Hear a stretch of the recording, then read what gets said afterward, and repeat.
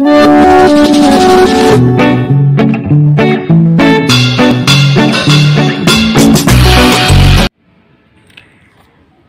everyone, welcome back on my channel Lesson Plan Corner. Today in this video we will see how to make lesson plan on the topic states of matter. This is for class 5th, okay? So today in this video we will see this and in previous video we have already seen lesson plan on topic fundamental unit of life. If you haven't watched that video I will give the link in the description box below. You can watch there, okay? Now let's see how to make this lesson plan on the topic states of matter okay so previous knowledge what we have to write it students are aware of many living and non-living things as well as they know little bit about solid liquid gas so uh, class 5th students is i think they are already aware of uh, little bit thing about solid what is means they can differentiate between solid liquid and gas. Here general aim to enable them to understand what is matter made up of to enable them to understand types of matter like solid liquid gas we are going to uh, tell them okay? Okay for specific objectives what we have to write is we want to tell them about states of matter as well as we want to tell them about properties of solid liquid and gas okay? And here you can see to let them understand terms means we are also want to tell them about evaporation and melting etc teaching aids so for teaching aids as usual we, whatever teaching aids we are going to use we have to write all those things okay?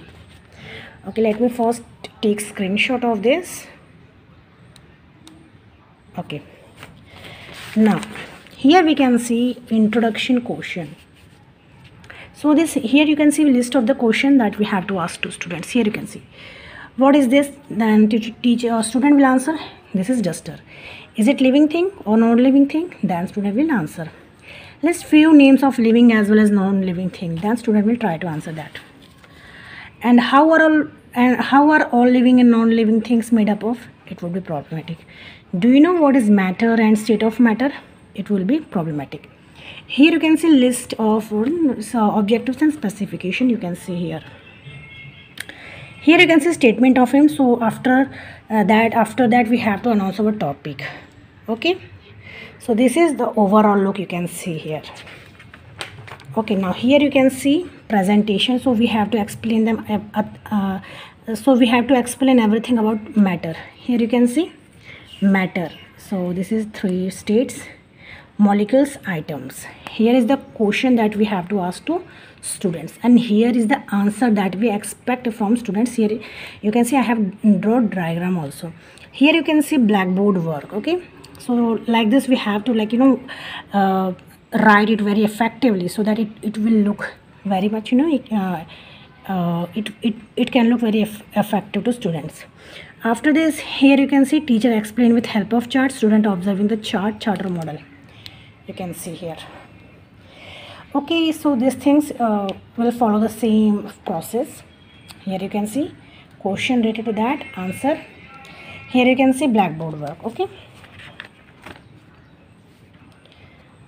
Now here you can see rest part of presentation too you can see here okay? Here is blackboard work.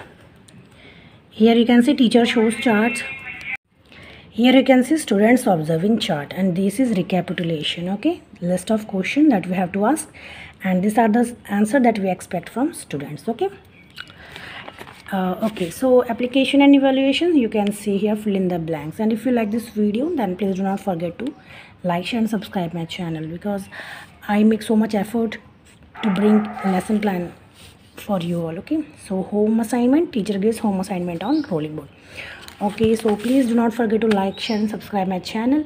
Uh, we will meet in next video with another be related topic. Till then bye bye and take care